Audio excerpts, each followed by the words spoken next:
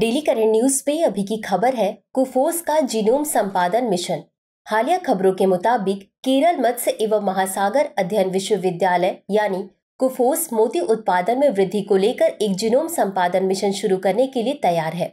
चलिए अब जानते हैं जीनोम संपादन मिशन के बारे में। इस मिशन को केरल में पर्ल स्पॉट के किसानों को ध्यान में रखकर शुरू किया जा रहा है। इन किसानों द्वारा केरल के जंगलों में अत्यधिक अनियंत्रित वातावरण में मछलियों का प्रजनन कराया जाता है। जिससे मछलियों का शरीर भार मुश्किल से 300 से 400 ग्राम तक ही पहुँच पाता है। इस मिशन के तहत पर्ल स्पॉट मछलियों के जीनोम को एडिट करके उनकी आनुवांशिक संरचना को लक्षित किया जाएगा, जिसके द्वारा पर्ल स्पॉट के प्रजनन और बीज उत्पादन को बढ़ावा देने में मदद मिलेगी। गौरतलब है कि जीनोम संपादन एक तरह की आनुवांशिक इंजीनियरिंग होती है।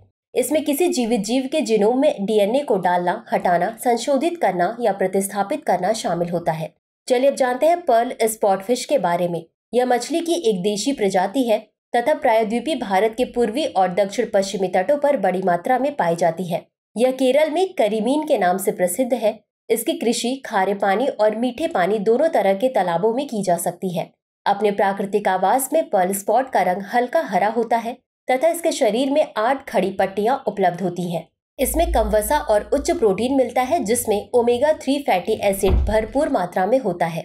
वहीं ओमेगा थ्री फैटी एसिड हमारे दिल और मस्तिष्क को स्वस्थ रखने में सहायक होता है। इस किस्म में विटामिन डी और राइबोफ्लेविन के साथ साथ कैल्शियम और फास्फोरस जैसे खनिज प्रचुर मात्रा में उपस्थित है।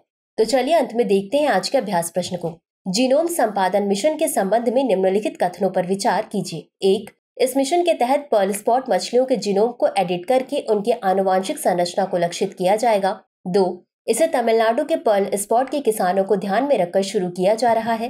तीन, इसके द्वारा पर्ल स्पॉट के प्रजनन और बीज उत्पादन को बढ़ावा देने में मदद मिलेगी। उपर्युक्त में से कितने कथन सही है या सही है? ए केवल एक, बी केवल दो, सी सभी तीन, डी इनमें से कोई नहीं। इस प्रश्न का उत्तर कमेंट बॉक्स में ज़रूर दें। अभी के लिए बस इतना ही। धन्यवाद। डियर व्यूवर्स अपने एग्ज़ाम की तैयारी को और बेहतर करने के लिए हमारे चैनल को लाइक शेयर और सब्सक्राइब करना न भूलें।